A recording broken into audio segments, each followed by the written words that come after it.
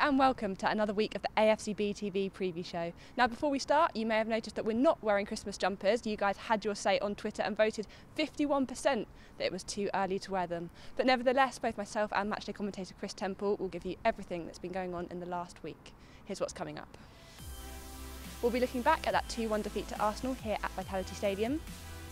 We'll also be discussing Jefferson Lerma and the impact he's had since joining in the summer. And finally, we'll be looking ahead to tomorrow's game against Manchester City at the Etihad Stadium. But first things first, let's go back a week and look at that 2 1 defeat to Arsenal here at Vitality Stadium. Here are the short highlights. Iwobi, halfway inside the Cherries half. Kolasinac, left hand side, drives it across low, and an own goal put into the back of his own net by Jefferson Lerma, who scored in the right goal last time out and has put one in the wrong net this time. From hero to zero for Jefferson, half an hour gone, Arsenal in front.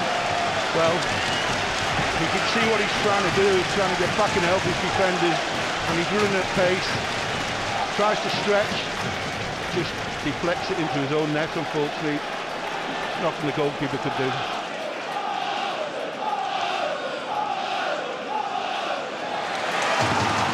They can praise a breakaway now. Five on three in Arsenal's favour.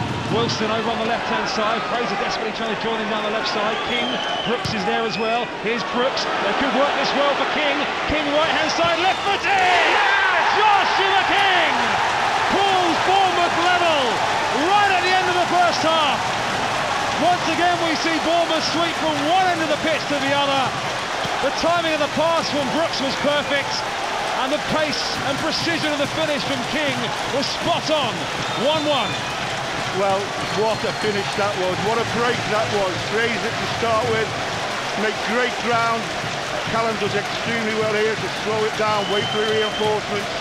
And it's a ball about Brooksy putting right pace on the ball so King Yi can smash it into the top corner. Is Iwobi, lovely ball played inside left, onside. Kolasinac's cross, and Aubameyang this time makes no mistake. Arsenal sprouted that from next to nothing. As the ball was slid across by Kolasinac, Aubameyang found the net for the eighth time in the Premier League this season. And with a quarter of this game remaining, Bournemouth will have to come from behind again. Bournemouth 1, Arsenal 2.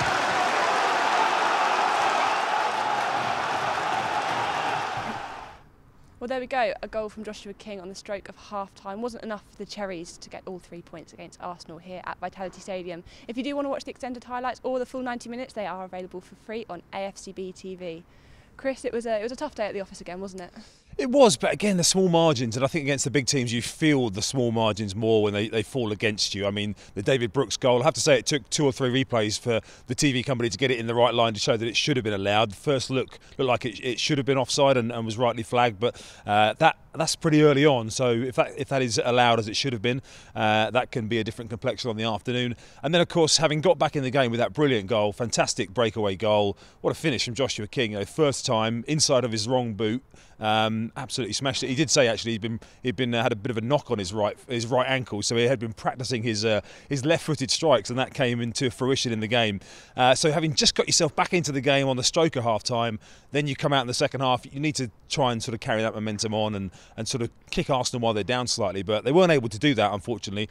Um, and the yeah the winning goal was was disappointing in nature. It was a bit too easy, switched off from the free kick. Um, and you know when you, you have those moments against the big teams, they do punish you. There was a little flurry late on, of course. You know, Jefferson Lerma hit the post.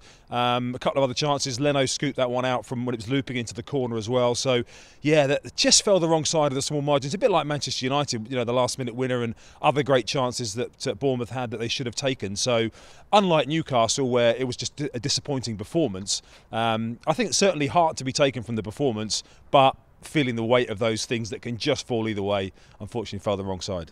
And you mentioned that David Brook chance there. If that goes in, it's a completely different game, isn't it? Well, and it was a it was a you know it wasn't the, the prettiest goal Bournemouth will score this year because it was a bit scrappy and it got stuck under his feet, but it was a smart finish under the keeper. And yeah, uh, that early in the game against the big teams, it sets the tone, doesn't it? Um, but as you say, the linesman, you know, up went the flag uh, incorrectly. Maybe not the only decision that went against Bournemouth or has gone against Bournemouth in the, the last couple of weeks, but that's the uh, sometimes when the the tide has just turned slightly against you the winning run is, is over and uh, whatever, then those little 50 50s start falling the wrong way, unfortunately. And obviously, last season we went 1 0 down to Arsenal here as well. This time we did the same, we came back 1 1, and again, it, people were probably thinking, well, here we go again. And particularly with Arsenal's uh, propensity to not be able to hang on to leads in the first half, or they hadn't been ahead at half time in any game this season, and they were 30 seconds from being ahead this time. So that will have, uh, I guess they would have, they were arguing amongst themselves as they walked off at half time about that. So yeah, at half time it looked like that Bournemouth could go on and, and make it count in early in the second half. But you know, let's not forget Arsenal, a great side with with multi-million pound players in there. So to to be sort of standing here disappointed again, a bit like Manchester United. The context is disappointed not to have got something against two of the biggest teams in world football. So that is the the bigger picture, I guess. Albeit when you lost three in a row, it probably doesn't feel like that. But you know that that's the the reality is that the performances probably tell a different story. Not Newcastle, but the other two tell a different story to the amount of points that have been uh, that have been gained. And Arsenal, obviously, they were on such a good run coming into the game, and Unai Emery has made them look like a different team, hasn't he? Yeah, they've, they've been strong, absolutely. Um, they're looking, you know, it's a tough task for them at the minute to hang on to the to the, the real top guns. You know, City and Liverpool at the top of of uh, sort of set a different standard this season, but Arsenal, you know, they're in the the Tottenham, Man United, sort of Chelsea mix for third, fourth, fifth. Um, they, have got a long way to go, I think, before they're going to be right at the top contending for the title again, which they haven't won for quite a while. Um, but I think Gunners fans will definitely be more enthused this year than uh, than certainly what they produced in the, the, the, tail end of Wenger's reign. And obviously, in the dying moments of the game, you mentioned Jefferson Lerma hit the post. It was nearly two and two, wasn't it? Oh, I mean, there was nothing on. It was outrageous to really shoot from where he was. He was miles out, loads of bodies between him and the goal, which actually possibly would have helped him because the goalkeeper was a bit unsighted. But sometimes those are the moments, you know. He just thought, you know what? And he probably was feeling bad having smashed in one of the own goals of the season uh, earlier on in the game. Um, that uh, he probably owed his teammates one and owed the fans one but he was very, very close. But again, when things are working out for you, that bounces straight back to a Bournemouth player who taps it in. So uh, ambitious, but nearly proved uh, profitable. Well, after the last three games, Jefferson Lerma has been voted our Michael Matthews Player of the Month, and we'll be discussing his highlights in just a moment. But first, here they are for you.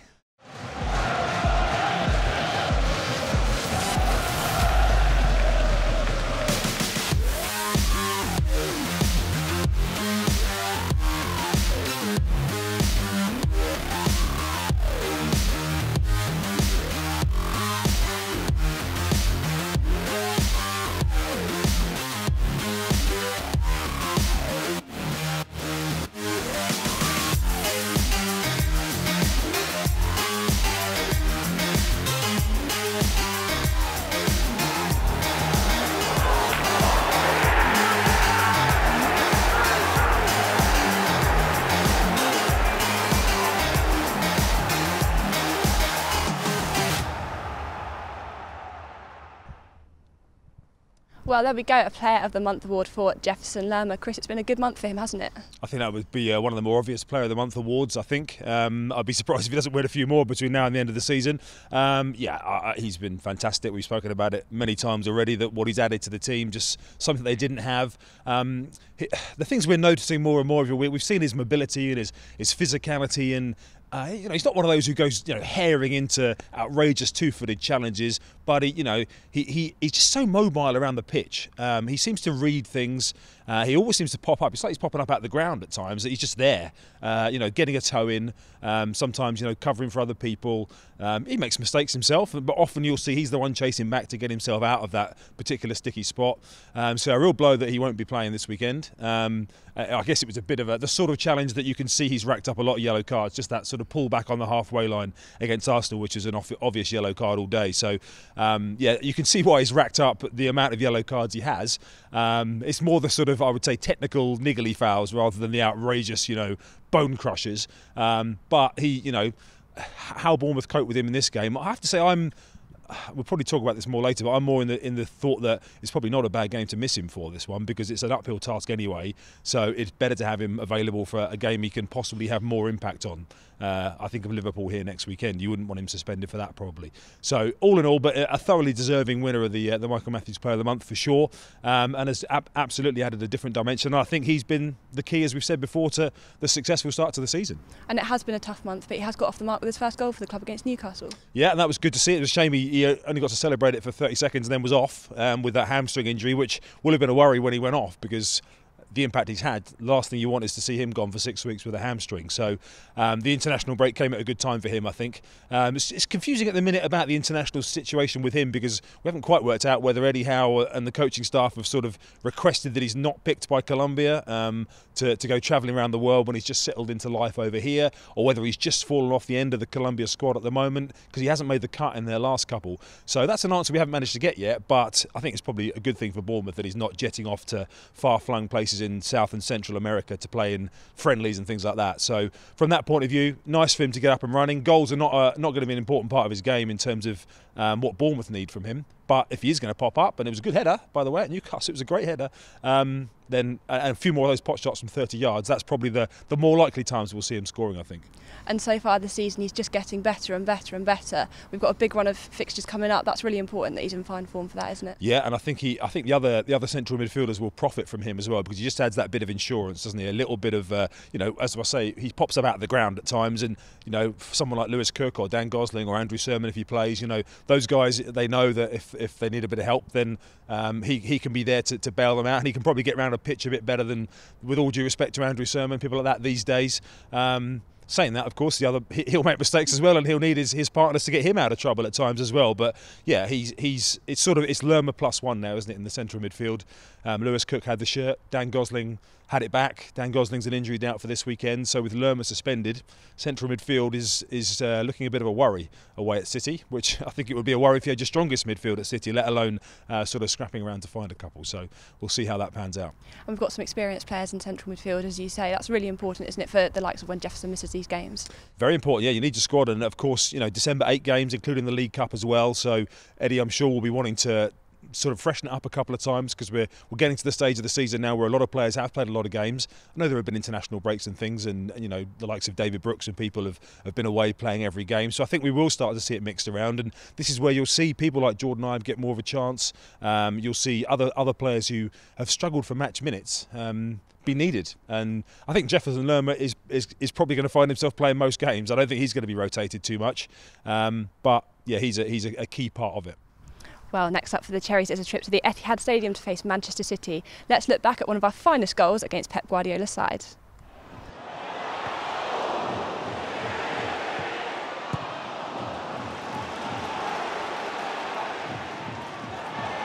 Gosling again. And Charlie Daniels! That's fabulous!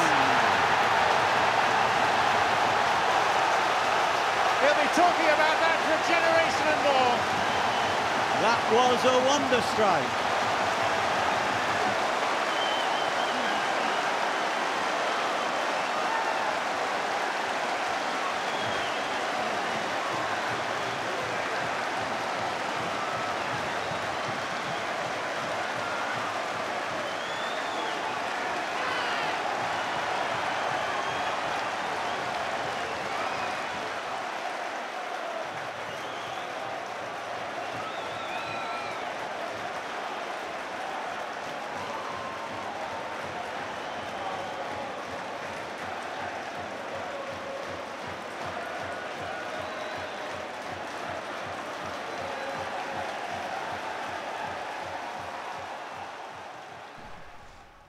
Well, a fine strike from Charlie Daniels there. Kris, it's certainly going to be an uphill task tomorrow, as you said. Would you say it's the toughest game of the season so far? I would say it's one of the toughest games in world football at the moment, let alone the toughest game this season. Uh, I think City are setting a new bar for the Premier League. It's very difficult to win the Premier League two seasons in a row. I mean, there's a long way to go, but you know, if anybody's having a fiver on it in the minute, I would say it's looking like it's going to be City again.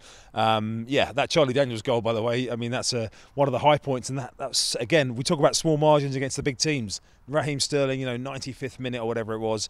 I know he got sent off, which gave the Cherries fans a little bit of pleasure at the end. But um, that that Charlie Daniels goal is one of only two goals Bournemouth have managed to score against Manchester City in the Premier League era. Uh, Glenn Murray was the other one for a little quiz question for you. Um, but when you look at the scores on paper, away at City, 5 1, 4 0, 4 0. Um, I just said to Eddie this morning, when you, when you look at those scores on paper, how do you give the players belief when you go into a place like this with City playing the way they have been. Um, you know they've conceded what is it four goals in the whole season I think in the Premier League. So um, the one thing I will say is last year it was two 0 until about what 15 10, 15 minutes to go. Cherry threw on a couple of attacking subs and tried to get something from the game and ended up losing 4 0. So that was probably a slightly falsely uh, decorated scoreline. But um, yeah, go in there. You need absolutely everything to go your way. You need City to have a, a bad day.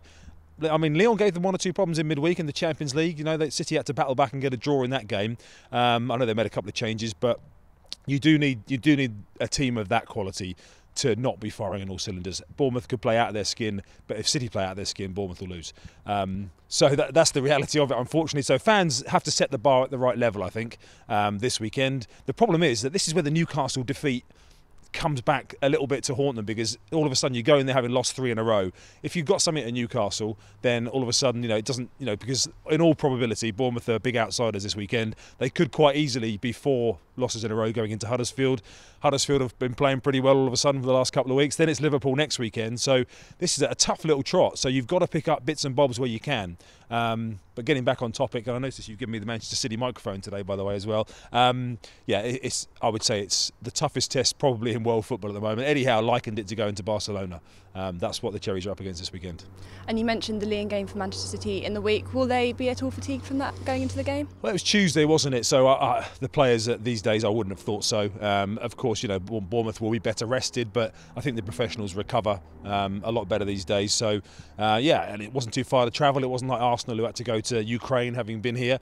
Um, so I think from that point of view, I think maybe you know, they might be slightly bruised because not many teams have, have stopped Manchester City this season, but Lyon have stopped them twice. Um, Lyon, the only team to go to City and win this season. Uh, the only Premier League games they haven't won, City have been away at Wolves and away at Liverpool. So um, at home, they've been rampant. They've scored six a couple of times, put six past Southampton a couple of weeks ago. I think they've scored five twice as well at home. So from that point of view, um, yeah, it's, it's, it's I'm trying to find some positives. and this is normally the part of the show where we look out for the other team's dangermen, but they're dotted all over the pitch this week, aren't they? Be quicker to talk about who not to look out for. Um, yeah, I mean Aguero, Premier League top scorer. Uh, I mean Sterling's the man who you know we talked about Lukaku before um, when Bournemouth have played United about always having a good game against Bournemouth. Raheem Sterling has scored in five Premier League games in a row against uh, Bournemouth for City.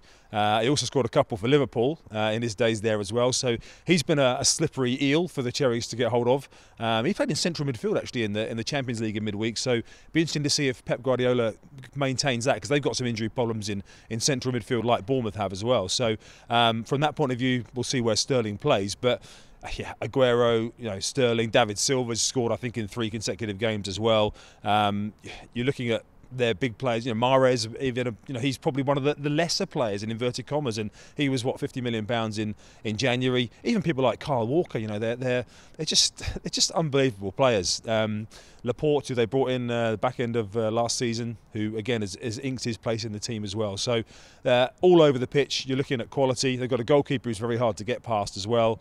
Um, but those players can't have a great day every day of the season. So if we're looking for some chinks, let's hope that Aguero is a bit tired.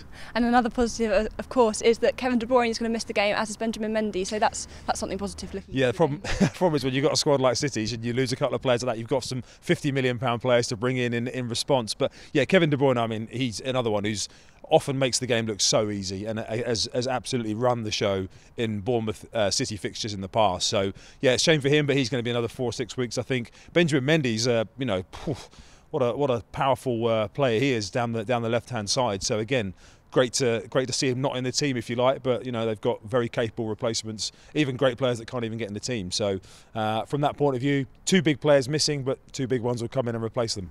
And of course, the Cherries got some injury concerns of their own. Adam Smith's obviously going to be out, and Eddie mentioned Dan Gosling as well. Yeah, Dan Gosling's not looking too good. I think he's uh, he hasn't trained this week. Eddie said so. Um, uh, he picked up a knock on his knee in the Arsenal game, which again it never rains it pours, does it? With Lerma suspended, and all of a sudden Dan Gosling could be out. So maybe by you know by uh, default, it could be a Lewis Cook Surman midfield. Um, if I was a betting man, having seen Dan Gosling this morning, I would say that possibly that may be how it's looking at the moment. Um, Eddie Howe did also mention another couple of niggles knocking around the squad, but was uh, didn't want to necessarily say what they were. Um, so yeah. Interesting to see which way they go. They've gone three at the back away from home in big games before.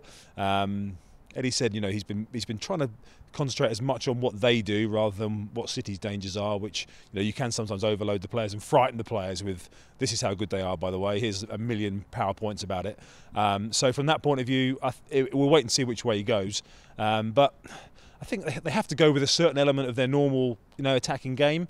Um, it, it, might be basketball style. It, it might end up six-three. Who knows? But if Bournemouth can function away from home as they have done this season in some games. If they can get that fluidity going, I think having Joshua King available for this game, having come through last week with no problems, is, is big because his physicality, just being able to hold the ball up, giving the Cherries an outlet, not being so reliant on Callum Wilson to have to do all the chasing up front, do all the physical workload. I think having King as an extra pair of hands, if you like. I think that is very important just to take a bit of sting out of City sometimes, be able to have a bit of possession. Uh, I think Bournemouth had 21% of possession up there last year, so they may not spend a lot of time with the ball. So when they have got the ball, they've got to make sure they use it effectively. Well, it's certainly going to be a very tough test. If you are going to Manchester City this weekend, have a very safe journey. We'll be back on Monday to preview the game against Huddersfield Town here at Vitality Stadium. Thanks for joining us.